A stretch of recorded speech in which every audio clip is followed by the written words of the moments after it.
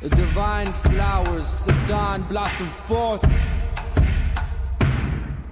The war flowers of the cause of all, glittering with dew. They scatter abroad their fragrance.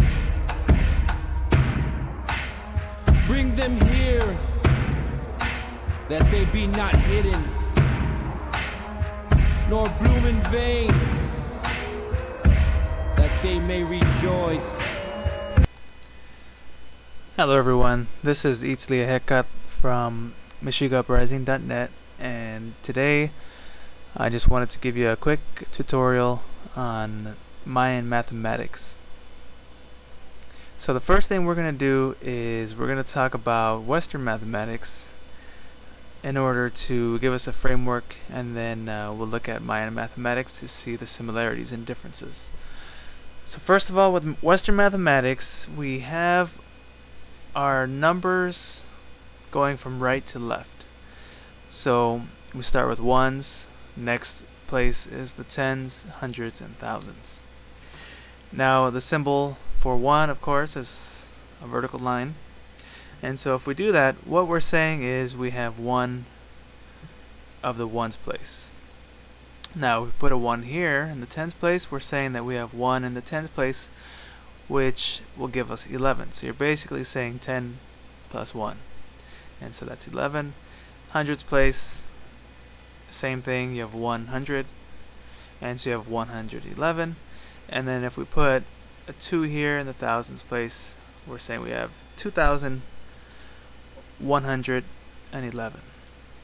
Now if we go ahead and take this 1 out, and if we put a 0 in,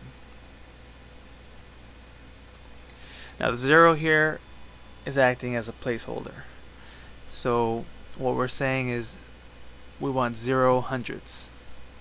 And the reason of course that we have to put 0 here as a placeholder is if we don't have it it's going to say 211 and we don't want it to say that. So it's going to be 2011 because the 0 is a placeholder. So pretty simple um, but when you go to the Mayan mathematics the whole framework is shifted now. Instead of going from right to left we're going to go from bottom to top. Now, instead of ones, tens, hundreds, thousands, we have ones, twenties, four hundreds, and eighty thousands. This is common to all Mesoamerican tribes, um, including the Mexica.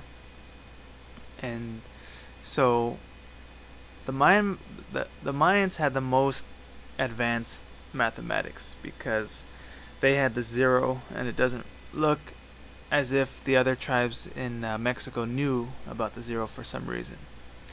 And the Mayans, of course, were one of the few civilizations in the world to discover zero as a placeholder. So if we come back here, we can go ahead and demonstrate, instead of a line representing 1, we have a dot or a little circle. And this is how we say 1. So in this case, we're saying 1, 1. Now, instead of going from right to left, we're going to go from bottom to top. So if we want to say 21, you have to put a dot here on top of this dot. And if a Mayan scribe were to see that, they would say automatically, okay, that's 21. And they'd be able to process it pretty quickly. And same thing with 400. Now, if you want 2, you're going to go ahead and put two dots.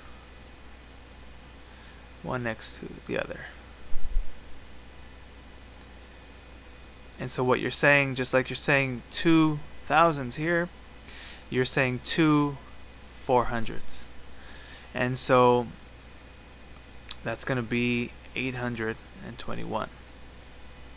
So it takes a little bit more time for us to process this because we're so used to the Western mathematics and we're used to saying okay 2,000, 3,000, 4,000 pretty easily and the Mayans would have been able to do that as well. So we just have to become acquainted with the um, the difference here. So if we add a three, a third dot here, it's going to be three times 400 or three 400s, which is going to be 1200. So now it's 1221. And then if you put a dot up here, you're saying 81,221. So I know that got pretty complicated there, but once again, 3 times 400 is 1200. And so we're going 81,221. And that's how you would say that. Now, once again, the Mayans did have zero, and the way we write the zero is a conch shell.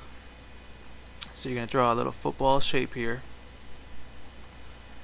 You're going to draw a line down the middle, and then lines going down across. And when Mayans see this, they know automatically this means zero. And so just as zero is a placeholder here, same thing happens here. So we're going to say 80,021 because the zero automatically is saying we don't want any four of the 400s.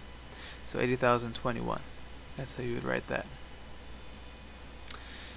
And the only other symbol the uh, Mayans used was uh, for 5.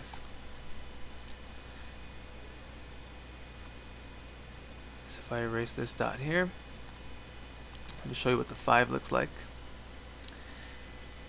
So the 5 is just a rectangle. I'm using Microsoft Paint here, so it's not a perfect rectangle, but you get the idea. So rectangle rectangle equals 5. So 5 20s 5 times 20 is 100. So now this reads 80,101. And then if we took off this dot here, it's going to, and we replace it with a rectangle, which equals 5. We're saying the same thing here, 5 ones. And so we have 80,000 four I'm sorry, eighty thousand one hundred and five. So eighty thousand one hundred and five. Because five times twenty is 100, 5 times one is five, and once again the zero is holding the place here. And then if we take this zero out and we put the uh, dot back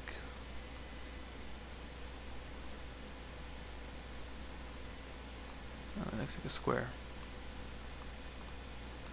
Okay, so let's put the dot back. And so now you have 80,000. And then now this is 1 400. And so you got to remember this is 100 because there's a, a bar here. So what you're going to do is it's 400 plus 100 now. So it's going to be 80,505. So as you can see, for us, it takes a little bit of time for us to process these these numbers because we're so used to the Western framework. But with practice, we can uh, we can get it down and we can process it, you know, as quickly as we can here. And so that is um, a basic tutorial of Mayan mathematics. It does get a little bit more complicated, uh, especially when you look at um, the Mayan calendar but we'll save that for part two of this video. I hope you all enjoyed it and you got something out of it. Thank you for watching.